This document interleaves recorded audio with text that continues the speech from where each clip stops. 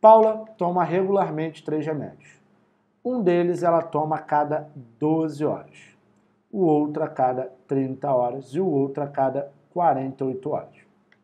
Se ela tomou os três remédios juntos agora, a próxima vez em que ela terá que tomar os três remédios juntos novamente será daqui a. No primeiro momento, vou até aparecer aqui embaixo. No primeiro momento, assim, você deve ficar perdido com uma questão dessa, mas a partir de agora você não vai errar mais. Por quê? Preste atenção no que eu vou escrever aqui, ó. Tanto em tanto tempo, tá bom? Tanto em tanto tempo, ok? Num instante juntos, deixa eu botar isso aqui. Num instante juntos e para finalizar, vai ser o quê? Para finalizar, vai ser a próxima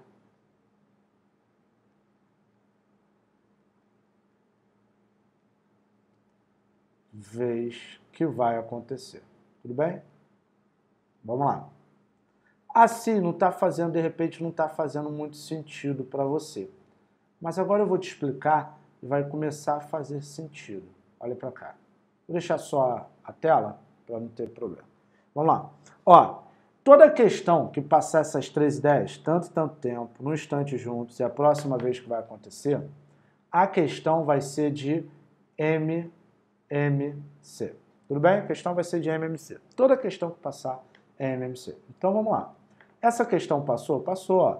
Tanto tanto tempo, a cada 12, cada 30, cada 48 no instante juntos, ó, tomou os três remédios juntos. A próxima vez que vai acontecer. Pronto, é MMC. Ou seja, temos só que achar o MMC de 12, 30 e 48. Renato, agora vai. Vai sim, tenho certeza.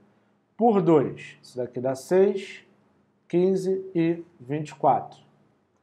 Por 2, 3, 15 e 12, né? Não deu repete, tá legal?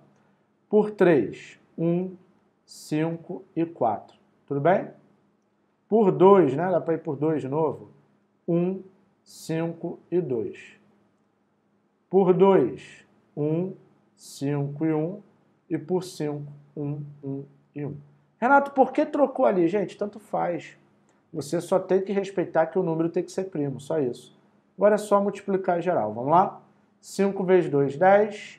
20, 60, 120, 240. Ou seja, isso vai voltar a acontecer daqui a 240 horas. Marco V da vitória, letra B de bola. Tá aí minha resposta. Marco V da vitória. Simbora lá.